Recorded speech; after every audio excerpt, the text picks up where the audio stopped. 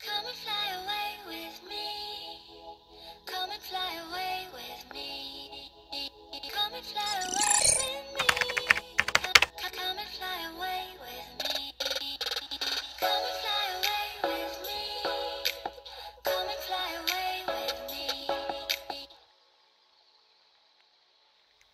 Hello, my beautiful angels, and welcome back to another episode on this Divine Conscious podcast. I am your host, Lotus. I hope everyone has been safe and has been doing absolutely incredible.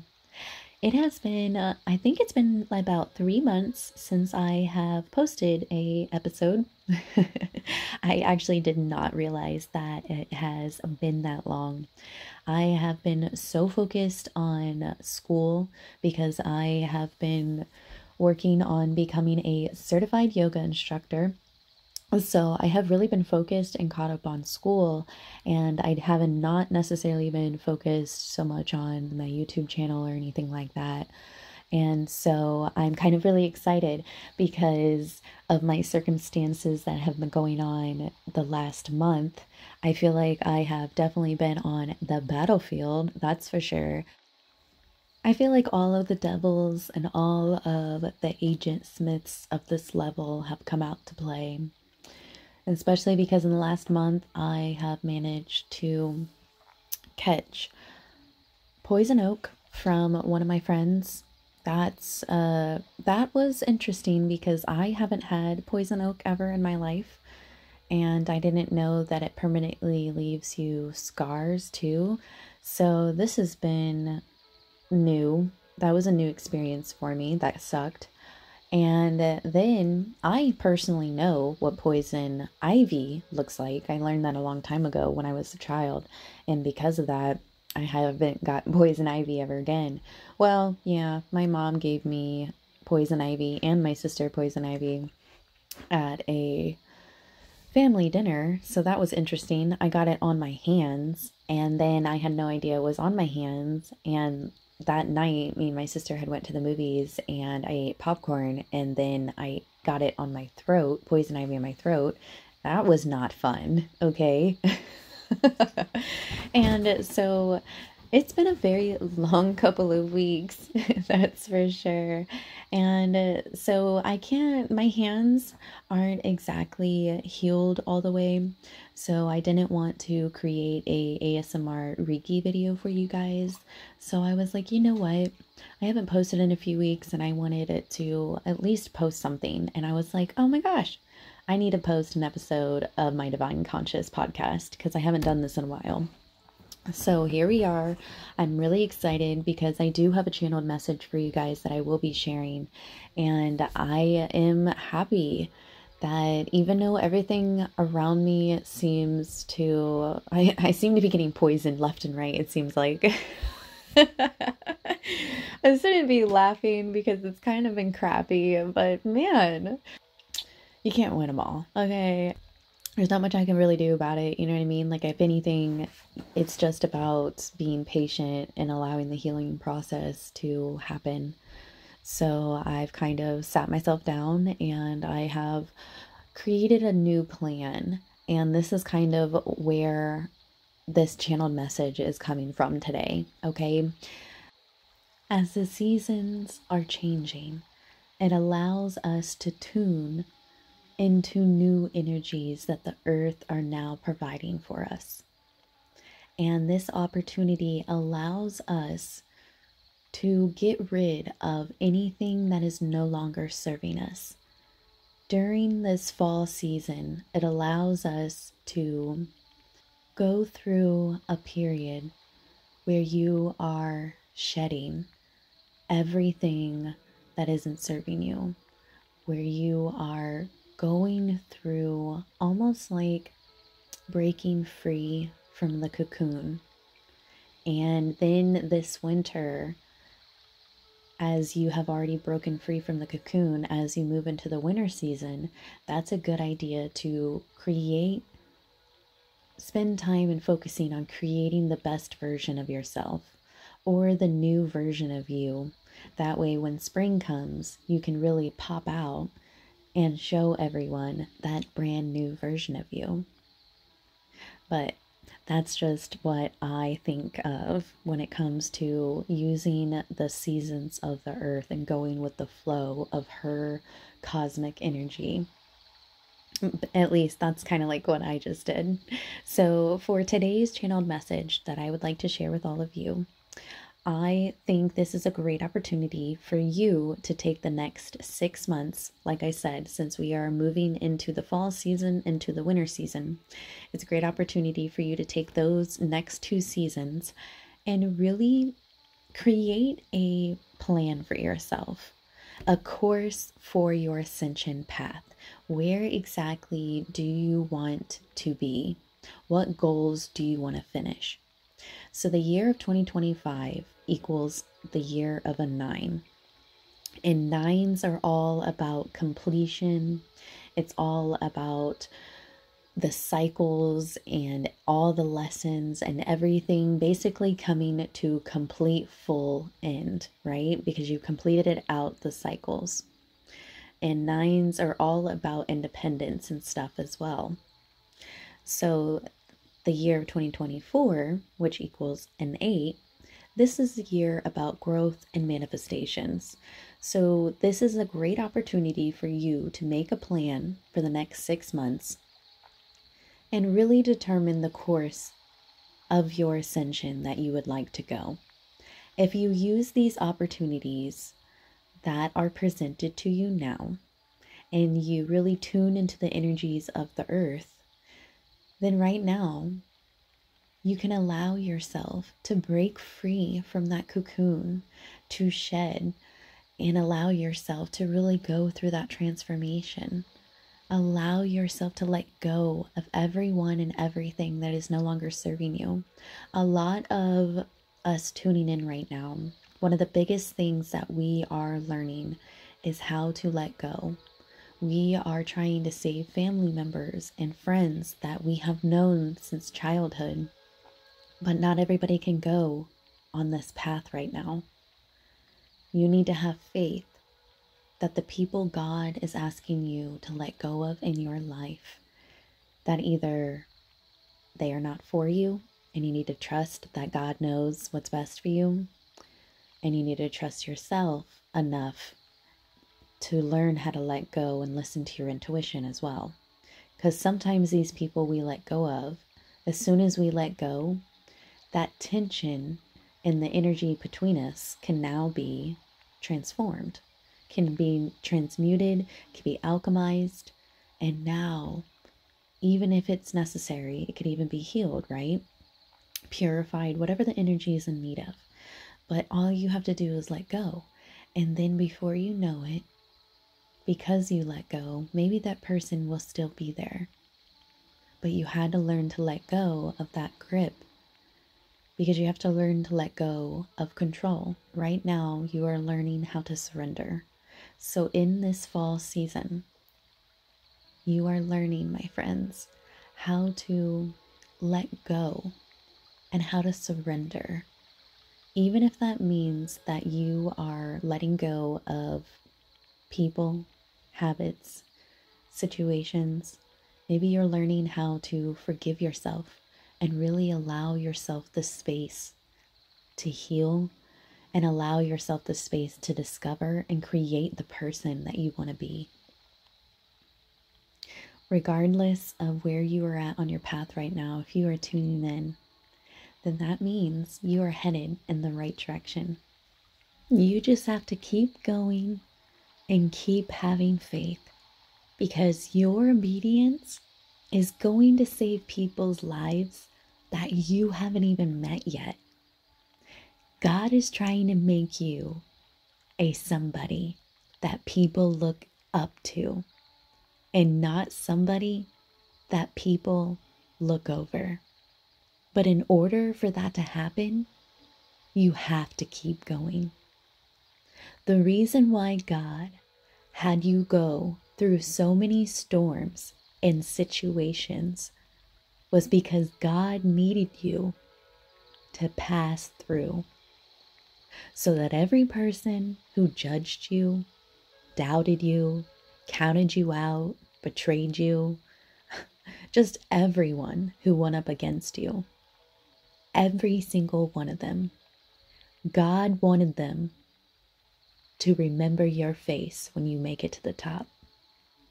That's why He had you pass through. Remember, the last shall be first. And God did this for a reason.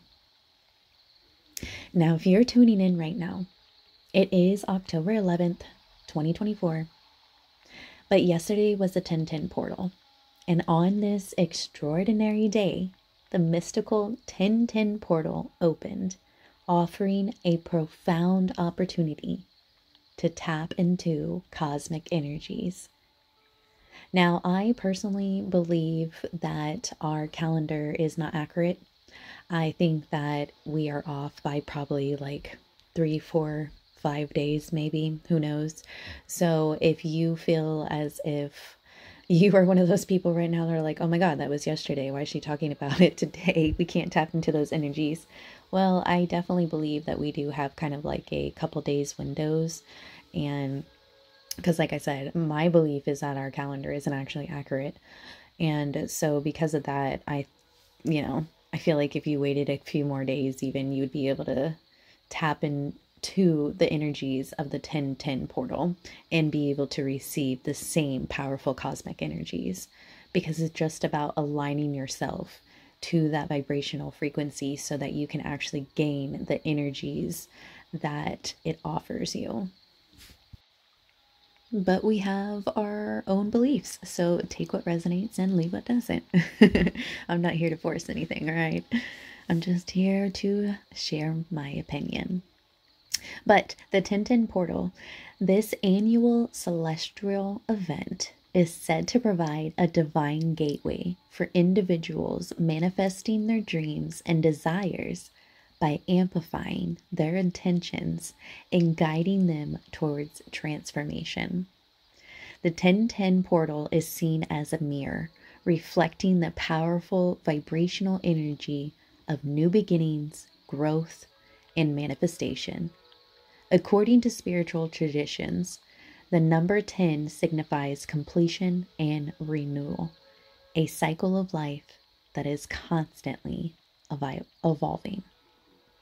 With this energetic gateway opening, this is a great opportunity for you to meditate and align yourself with the powerful cosmic energies available to you, allowing you to tap into your full potential by aligning yourself with your dreams and goals, helping you manifest the course of ascension for the next six months.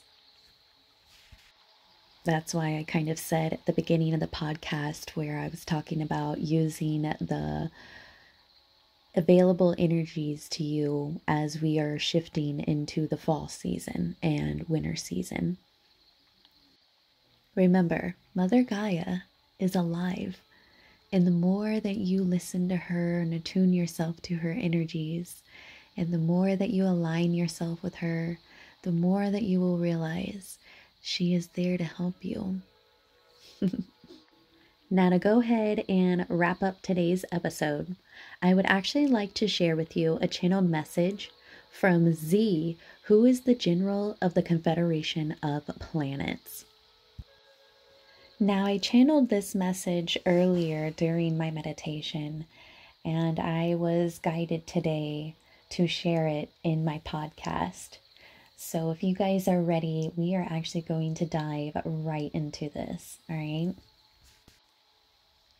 Dearest light workers and star seeds of the One Creator, I am Zii of the Confederation of Planets, and I share with you this sacred moment. I wish to speak to you about the importance of keeping an open heart. Having an open heart is not something one can simply turn on and off, nor can it be assumed that it is always active before engaging in communication with another. Instead, it requires special care, attention, and a willingness to allow the divine within you to flow through you and unfold. There are many moments in life where the heart may seem open. But then, when true friction arises, the test of that openness is truly felt. As you move through these experiences, strive to sense the energy within your own heart to understand if it is truly open and whether it is vibrating at the frequency of unconditional love. The act of opening the heart is a delicate process that requires both patience and honesty. You may face moments of misalignment within yourself or within another, and this can lead to friction, resistance, or even a sense of delay. This disconnection restricts the flow of cosmic prana from moving through all of your chakras, preventing the energy from truly reaching and opening your heart. Within each of you are compartments of unexamined beliefs, fears, and defenses that block your pathway to love. These compartments are filled with thoughts of limitations, division, and illusions that prevent you from experiencing the boundless energy of the one true Creator. If you want to see if your heart is truly open, you can start with meditation. Through meditation, you want to observe the thoughts that arise within you to feel the sensations that move through your body so that you can entangle all of these knots with compassion and gentleness. By diving deep into your subconscious thoughts, you can begin to understand where separation exists and how this impacts your perspective on both yourself and others. In this way, the energy that was once trapped can now rise upward, allowing you to feed this energy through your heart and bring you closer to your lived experience of wholeness and unity. Through forgiveness of oneself and forgiveness towards another is how this will help you heal your heart chakra. Allow yourself to receive the love that you are deserving of. What a victory it is in this moment now that you share with me, for you are able to engage on such a beautiful level within yourself because you have managed to do the necessary interior work that has led you to understanding that in order to truly manifest what it is that your heart is desiring, then you must open your heart to unconditional love.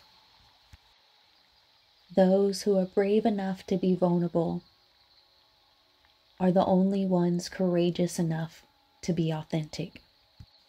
Allow yourself to nurture your inner child and release all that no longer serves your heart's true desires. Become aware of any blockages within your heart that are feeding your body pain and causing separation and division. Listen to your inner voices with love and without judgment. This is the only way you will be able to enter into the sacred space of your own heart. The more you seek to listen within, the more layers of distortion that will melt away, revealing the truth that lies beyond the illusion. The truth that the shadow and the light within you are one and the same. This realization enables you to speak not from the perspective of fear and separation, but from a space of compassion, understanding, and oneness. In this way, you embody the sense of unconditional love. And this love speaks through your words, your gaze, and the very energy that you emit. It allows the surface level distortions to dissolve, making space for the truth to finally shine through. You are the truth, and the truth is that we are all bound together in divine unity. The illusion that you occupy is upheld by the veil of forgetting, which conceals your innate awareness of this truth. But many have seen through the veil and illusions that distort this world. Without the veil, the question of separation would hold no meaning for the truth of unity. Your being shines brightly, and your efforts call to all of those unseen allies, friends, and guides who support you from beyond the veil. It is very important for you to understand that you need to shine as bright as you can. It is this very will that many guide you in your quest to maintain an open heart, and especially when you are faced with challenges and moments of clashing energies around you. The strong will to remain open hearted is not just for the immediate moment of discord, but it is a dedication to a lifelong path of love and compassion. It asks you to nurture this desire within your daily activities, to make the conscious effort to maintain your heart's openness, and to call upon this with will. In doing so, you become a beautiful beacon of love, not just in moments of stillness, but in every interaction, in every word, and in every breath you breathe. Each of you has chosen to be here during this crucial time on earth at this time. You have chosen to reincarnate here with the purpose of discovering how to embody unconditional love and how to anchor it into the earth. Even amidst the challenges and difficulties that surround you. This path is not easy, but it is a sacred mission. Remember who you are and the power that you hold within you. You are a sacred being. And remember you are not alone. The population of Earth is engaged in a collective effort, and this time of transformation is an opportunity for each of you to grow. The opportunities to step into your divine essence are more present than ever before. It is through these daily acts of choosing love over fear that not only are you going to transform yourself, but you are also going to contribute to, to the collective awakening on this planet at this time. Through each of your journey, there are threads that we are weaving together that are creating the new earth.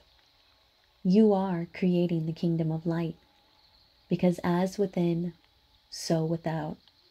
And as each of you have done your inner work and have recalibrated yourself from the 3D codes to these high vibrational quantum 5D codes, each of you are creating this beautiful new earth for all of us in the future to enjoy. You each have the free will to decide how you are going to respond to the challenges and all of the catalysts presented to you throughout your journey but the choice to respond with love and openness is a universal opportunity that brings each of us closer to the divine. Part of this sacred process of growth is learning how to face and overcome separation. Through every moment of confusion, you will learn to know your true nature and every experience of disorientation that is carried with it. Not every outcome can be fixed, but every decision you make will allow in the energies that you bring forth in your decision making. In each challenging moment, there exists the possibility for transformation and miracles. Remaining hopeful and optimistic and having the vision to see beyond your circumstances now, those are the keys that are going to open the door to your divine possibilities and miracles. The universe challenges each of us every day, but it is how we respond to the universe during these challenging times on how the universe will respond back to us. Just be mindful and remember that in every given moment, the Creator is always awaiting your invitation to enter your heart. No matter how dark each moment may seem, there is always a pathway that is lit within that is filled with love, light, and infinite possibilities. You're the one that makes that conscious choice. Remember, you are the universe in the midst of discovering and knowing itself right now. You are the creator, and this is why you long for reunion with yourself. This is why we seek reunion with God, because we are trying to understand ourselves. It is the mind that must be silenced so that we can truly hear the soul speak. This is the sacred dance of existence, the infinite flow of love that moves through all things, binding all of us together as one. And I think that's absolutely beautiful.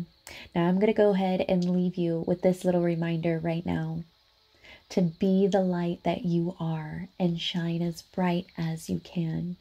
Because remember, you are the stars, you are the entire galaxy. The love that moves through all of creation is in your heart. The entire universe sings to the beat of your rhythm, and in your being, love finds its fullest expression. To love is to remember who you truly are. and on that note, I'm going to go ahead and wrap up today's episode. Thank you guys so very much for tuning in. I love you guys. And until next time, namaste.